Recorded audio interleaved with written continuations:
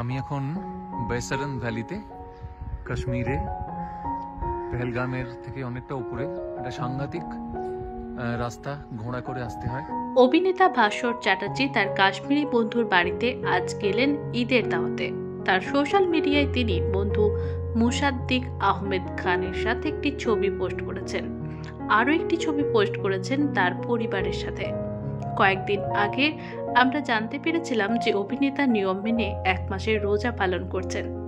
আর রোজার শেষে আজ খুশির ঈদের দিনে বন্ধুর বাড়িতে গেলেন। সঙ্গে তিনি লিখেছেন, ঈদের দাওয়াতের খাবার খুব সুস্বাদু ছিল।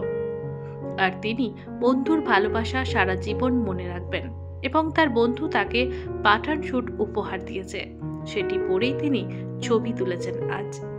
আমরাও চ্যানেলের পক্ষ থেকে সকল দর্শককে জানাই ঈদের শুভেচ্ছা ও ভালোবাসা।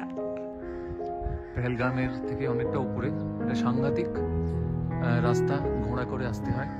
আর এখানে বৃষ্টি হয়েছে কালকে।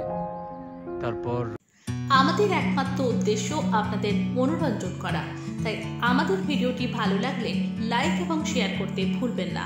আর অবশ্যই সাবস্ক্রাইব করুন আমাদের চ্যানেলটিকে।